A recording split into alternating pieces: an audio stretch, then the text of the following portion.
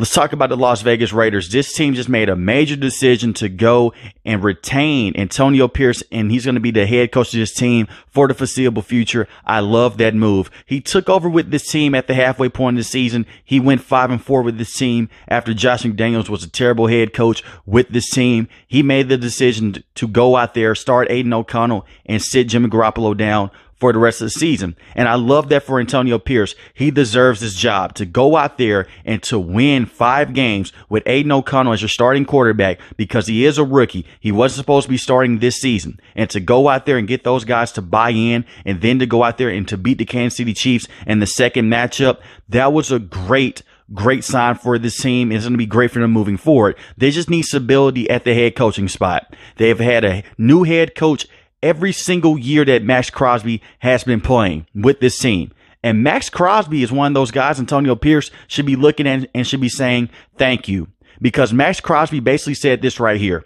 If you did not go out there and make a move to keep Antonio Pierce as the head coach, I'm done. I want to be off this team. I don't want to be with this organization anymore because Maxx Crosby has been one of the best pass rushers in the NFL for quite some time now. 14 14 and a half sacks and two forced fumbles last season. And the one thing that the Raiders need to do, they need to go out there and they need to fix their offense. You need to find a solution for the quarterback problem with this team. And it's not Jimmy Garoppolo. Before Jimmy Garoppolo was dealing with an injury and before he got benched with this team, he was leading the league in interceptions and he did not look good seven passing touchdowns on season to nine interceptions. And he does have some money on the books with this team. They can cut him, but he's not a bad backup quarterback to have with this team.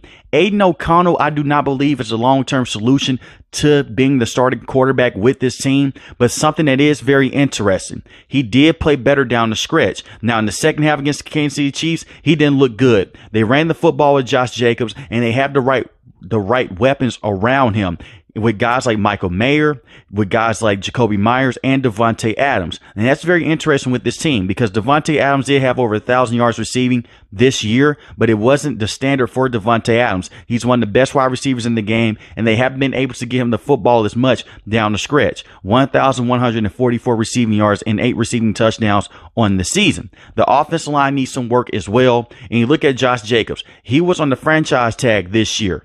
They may bring him back next season, but this was not the best season this year for Josh Jacobs. He only averaged three and a half yards a carry, six rushing touchdowns, 805 rushing yards, and he's a solid running back in, in the NFL. What is so puzzling about this, just the season before, he led the league in rushing.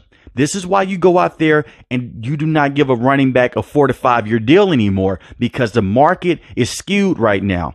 Josh Jacobs deserves to be paid, but not top free agency money because this team has a lot of problems besides just the running game. They need to go out there, fix the offensive line, and bring in the right coaches besides Antonio Pierce. And I expect them to go out there and do that. They need to go out there and get the right offensive coordinator with this team. They have missed on draft picks for the last couple of years in the first round. And speaking of first round picks, Tyree Wilson is the guy they just selected in the first round. He was supposed to come in and play rotational snaps with Chandler Jones. Where Chandler Jones went out there and he had a mental episode. And I do hope that he will be okay moving forward. But he is no longer in the NFL. He's no longer with this team.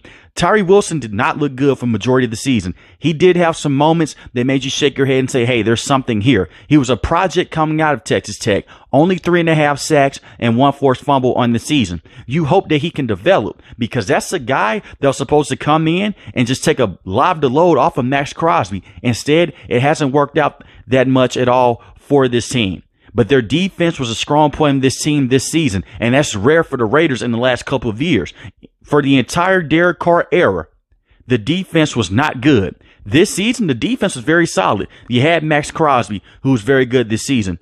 Jerry Tillery is a solid defensive lineman. Two sacks on the season, but he can go out there and stop the run. I like him more than most. I'm not saying that he's a star defensive tackle in the league, but he's a solid guy to have around, and he's a solid piece to have in the middle of that defense. Robert Spillane was a very solid linebacker this season for this team. I like Divine Deablo as well. And the secondary is very good with Nate Hobbs, who was very good this season with this team struggled the season before, but this season he was very good in the secondary.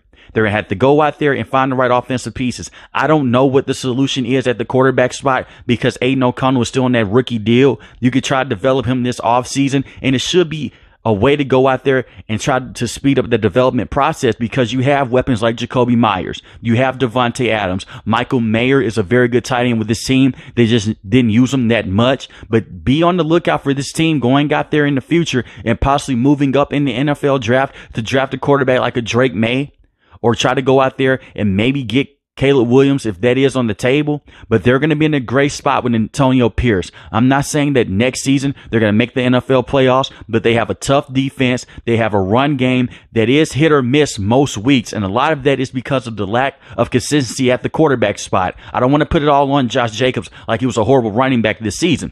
Jimmy Garoppolo was terrible. He was a turnover machine and he did not work with Josh McDaniels. And another reason why I'm so big on Antonio Pierce, he found a way to go above 500 on a back back half of the season with going five and four with still running Josh McDaniels playbook. Just because you moved some pieces around and you fired Dave Ziegler, who was the general manager, and you fired Josh McDaniels, the players were still training all off season long to learn that playbook and to get things right. This team still had Josh McDaniels written all over it. Antonio Pierce just came in and just tried to erase the bad things and just tried to go out there with the positive things. They played with an edge on the offensive end. They ran the football better towards the end of the stretch and they found a way to go out there and play solid defense. They basically went out there and beat the Kansas City Chiefs on Christmas Day with their defense alone. Yes, Aidan O'Connell had some key plays in the first half, but their offense was anemic in the second half besides running the football and getting things done. He has come back and he has basically revived the Raider way with this team.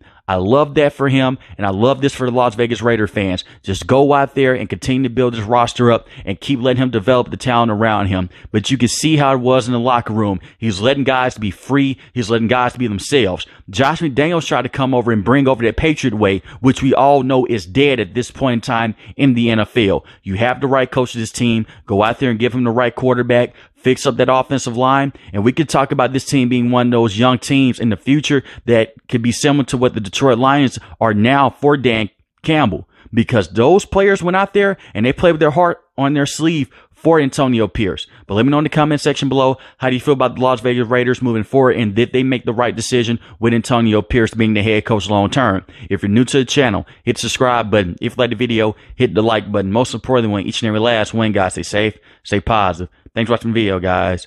Peace.